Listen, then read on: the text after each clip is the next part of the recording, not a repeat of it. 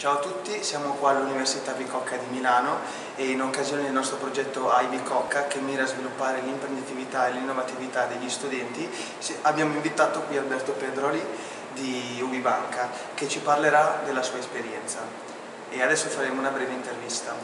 Dunque, eh, come prima domanda le volevo chiedere che cosa l'ha spinta da giovane a intraprendere questo cammino eh, nel settore bancario.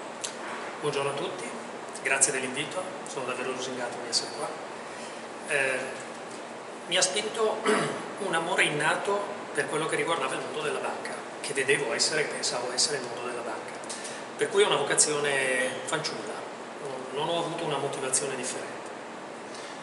Ok, come seconda domanda le volevo chiedere come mai si può parlare oggigiorno di Banca 4.0 e qual è stato il trigger, qual è stata la situazione, il fenomeno che l'ha portata ad essere appunto Banca 4.0? Banca 4.0 possiamo dire è uno slogan che ha inventato il professor Capocchi, dettandomi eh, il titolo di questo, di questo invito. Eh, riguarda, nasce, nasce, da due fenomeni secondo me congiunti.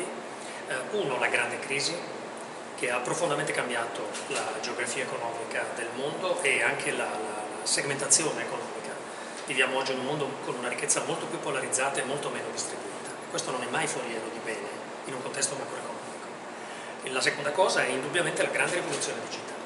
È un motore che da un cost to serve, miglioro il costo del mio servizio, a un cliente che oggi traina le banche verso la sua capacità digitale.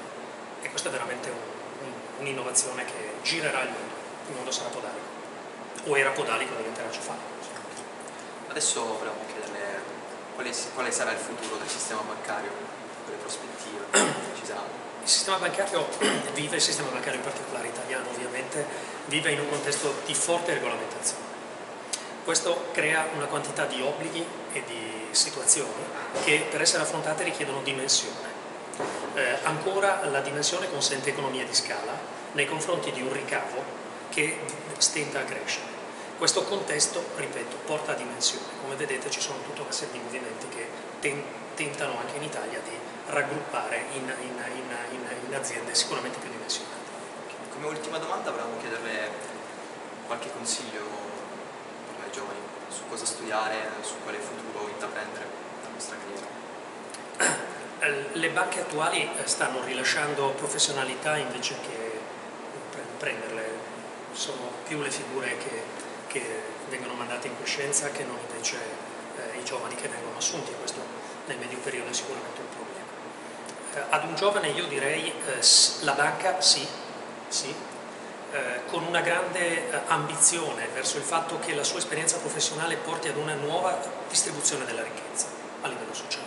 Questo è fondamentale una grande aspirazione etica, se permettete, da questo punto di vista, io non, non limiterei il percorso di studi o la, il bulk di libri che uno porterà un po' nella propria memoria.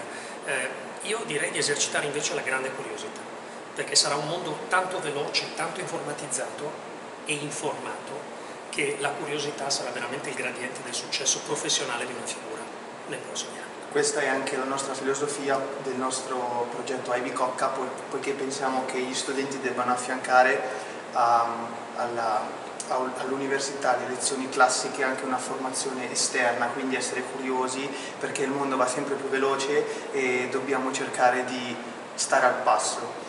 Quindi noi la ringraziamo, è un onore per, me, è un onore per me davvero. E, e noi ci vediamo ai prossimi eventi di Ivy Cocca.